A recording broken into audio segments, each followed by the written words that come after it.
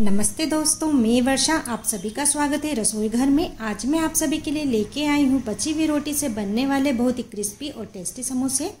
अक्सर सभी के घरों में रोटियाँ बच जाती है, बहुत ही अच्छा उपयोग है। आप ज़रूर से ट्राई कीजिए। तो चलिए बनाना शुरू करते हैं बची हुई रोटी से समोसे। तो इसे बनाने के लिए यहाँ पर मैंने तीन रोटी ली है। तो ये रोटियाँ जो मैंने सुबह बनाई थी, उसमें से बची हुई हैं। तो इन रोटियों को अभी हम साइड में रख देंगे और समोसे के लिए चटपटा सा मसाला बना के तैयार करेंगे। तो गैस चालू करके गैस पे कढ़ाई रखी है। इसके अंदर हम डाल देते हैं एक चम्मच तेल। तेल को थोड़ा सा गर्म होने देते हैं और अब हम इसमें डालेंगे आधी चम्मच राई। इसी के साथ हम डाल देते हैं आधी चम्मच जीरा।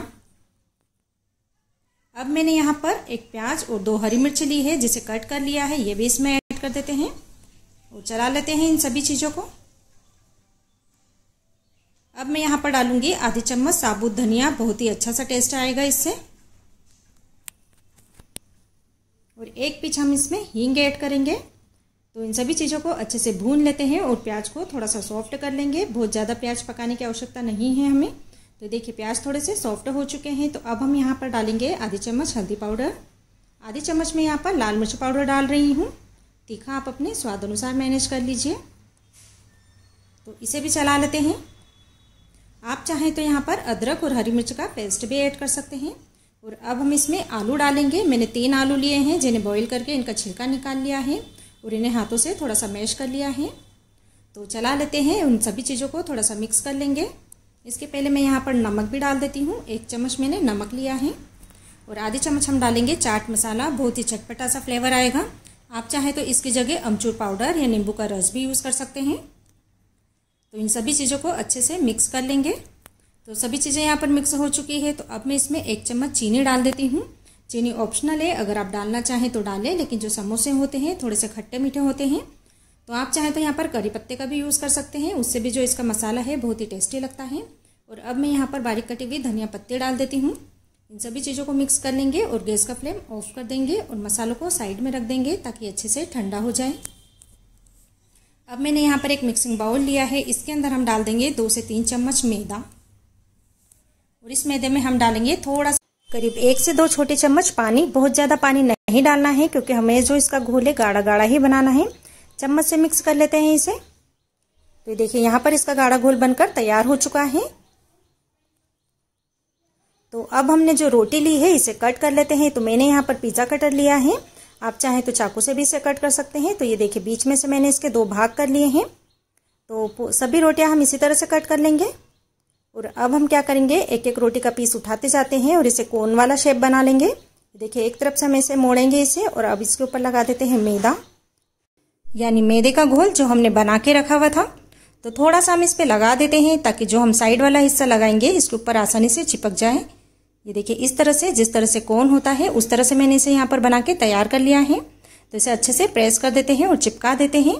और अगर आपको लगता है ये कहीं से खुल रहा है तो थोड़ा सा घोल आप इसमें और लगा दीजिए और इसे अच्छे से चिपका दीजिए, ताकि जब आप इसमें मसाला भरें तो मसाला बिल्कुल भी नहीं निकले। और अब हम इसके अंदर मसाला भर देते हैं। तो करीब एक से डेढ़ चम्मच मसाला डालूँगी मैं, बहुत ज़्यादा मसाला नहीं डालना है हमें। देखिए, और इसके जो साइड के किनारे हैं, इसके ऊपर भी हम मैदे का घोल लगा देंगे। तो हाथों में इस तरह से, उंगली की सहायता से आप थोड़ा थोड़ा घोल सभी दूर लगा दीजिए। तो बनाना बहुत ही आसान है और बची हुई रोटियों का बहुत ही अच्छा उपयोग है। आप ज़रूर से ट्राई कीजिए इसे और इसे भी हम अच्छे से चिपका देते हैं। तो ये देखिए, यहाँ पर हम, हमें जो इसकी शेप है, समोसे की मिलके तैयार हो चुकी है। तो सभी समोसे हम इसी तरह से बना के तैयार कर लेंगे।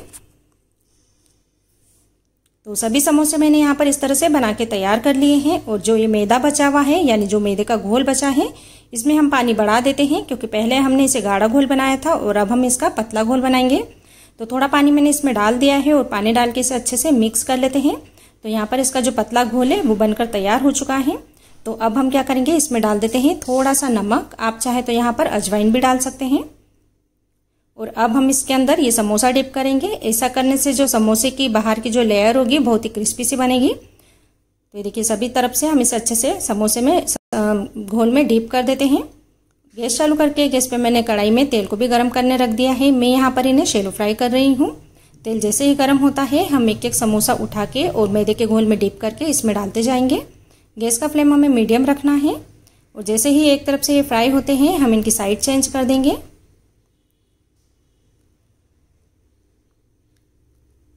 तो सभी समोसे हम इसी तरह से पलट देंगे और एक अच्छा सा कलर आने देते हैं और क्रिस्पी से इन्हें होने देते हैं।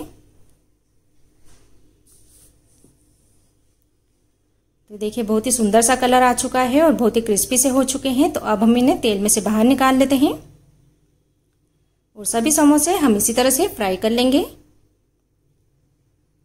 तो ये लीजिए फ्रेंड्स, बची हुई रोटियों के बहुत ही टेस्टी, बहुत ही क्रिस्पी समोसे बनकर बिल्कुल तैयार है। आप ज़रूर से ट्राई कीजिए। बची हुई रोटियों का बहुत ही अच्छा उपयोग है। इसे बच्चे भी खाना पसंद करेंगे। आप चाहें तो इसे ताज़ी रोटी से भी बना सकते हैं। और अगर आज की रेसिपी आपको पसंद आती है तो चैनल को सब्सक्राइब कीजिए, वीडियो को लाइक ज़रूर से कीजिए। और अगर आप मेरी सभी रेसिपीज़ इंग्लिश में देखना चाहते हैं तो वर्षा भावसार्स रेसिपीज़ पे विज़िट कीजिए। मैं इसकी जो लिंक है, नीचे डिस्क्रिप्शन बॉक्स में दे दूँगी।